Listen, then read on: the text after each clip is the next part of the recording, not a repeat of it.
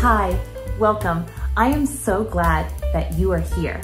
There is a great plan for your life, and you are walking in it. You are a great cook.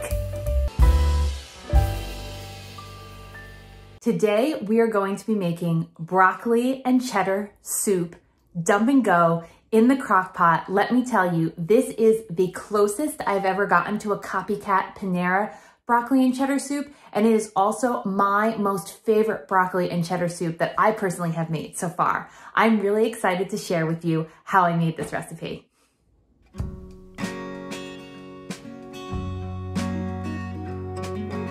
To your slow cooker, add one quarter cup of butter, three cups of diced broccoli, one cup of diced onions, and one cup of shredded carrots. Then just slightly mix together until it's an even layer. Next, you are going to make a corn starch slurry. This will thicken your broccoli and cheddar soup. To make your cornstarch slurry, you are going to combine two heaping tablespoons of cornstarch with about a quarter of a cup of chicken broth or water. Then stir to combine.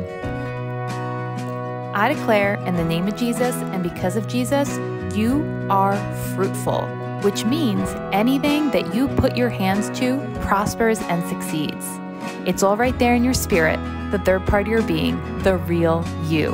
Thank you, Jesus. You are so good. Now that your cornstarch slurry is combined, pour into your slow cooker. And then pour chicken broth over everything inside your slow cooker until everything is covered. It should take about two cups of chicken broth. Then add some salt and some pepper to taste. Now you're going to cover and cook on low for four to six hours or high for two to three hours. After this cooking time, stir in one cup of shredded cheddar cheese and two cups of half and half. You can use milk if you prefer. Cover and cook on high for another 30 minutes until the cheese is melted. Yay! Here it is broccoli and cheddar soup. Thank you, Jesus. Great job, everyone. Dear God, thank you for being so good. Thank you for being a great God and a perfect parent. Thank you, Jesus.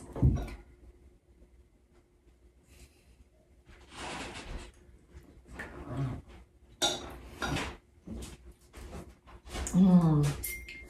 Wow, that is so good. So I love Panera Bread's broccoli and cheddar soup, and I've made a couple versions of it. This by far is the closest I've ever gotten to Panera Bread's version. Oh my gosh, so good. Oh, and I wanted to let you know that I topped it with some extra um, cheddar cheese on top. Okay, so super flavorful. Um, you can taste the carrot and the broccoli, but it's not overpowering at all. Like I would even say if you don't typically like broccoli on its own, you would probably still like the soup. That butter taste, really, really clear there, so sweet. And the cheese, oh, the cheese really makes a difference. I use the Kerrygold cheddar cheese. I, I personally think that is, well, that's my favorite cheese. Let's put it that way. It's just super, super flavorful. So if you're looking for a great cheddar cheese, I would recommend the Kerrygold cheddar cheese. Or if you have your favorite cheddar cheese, use that. Wow, that's really good.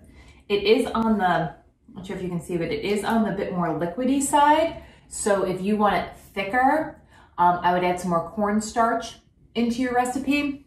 But if you want it more brothy, this is, it definitely has like a, a, thickness to it, but it is also on the more brothy side. I also used red onions, and I don't know if that made a difference, but it tastes so good. Let's see, what else can I say? Oh, I also like diced the carrots. Oh, I shredded the carrots really finely, and I diced the broccoli so that like all the pieces were really tiny. If you have bigger chunks and you want it to be smoother, you can use an immersion blender or you can cool the soup and then put it in a regular blender and blend it that way as well. You can blend the whole soup if you want it like completely, um, you know, no big junk, no, no big chunks, or you can even just like blend half of the soup or a quarter of the soup and that will thicken it a little bit and um, have some more smoothness to it. But I just chose to do it this way because it's one less step and I just like it easier, keep things delicious and simple. I just have to say, I am really, really, really impressed. This one is fantastic. I, I recommend. I give this, this is good. I give this 9.4 out of 10. Thank you so much for watching. I truly appreciate that you took time out of your day to watch my video. Thank you, thank you, thank you. If you like what you saw, will you give it the thumbs up, hit the like button? Also, I'd love to have you join our YouTube family. Will you hit the subscribe button? It's free for you and it notifies you when I upload new content, as well as help push this video out to other people so they can be encouraged, as well as get some nice cooking recipes. All my recipes are in the description box below, as well as a prayer that you can pray if you'd like to receive Jesus as Lord and Savior. Bye for now. See you in the next video. Jesus loves you and me, and there's nothing we can do about it. What great news! I declare in the name of Jesus and because of Jesus, you are blessed and highly favored, cherished and adored, forgiven and righteous, satisfied with long life, walking in divine health and wholeness, safe and protected, fruitful and victorious, wise and intelligent, wealthy and prosperous, full of truth and never deceived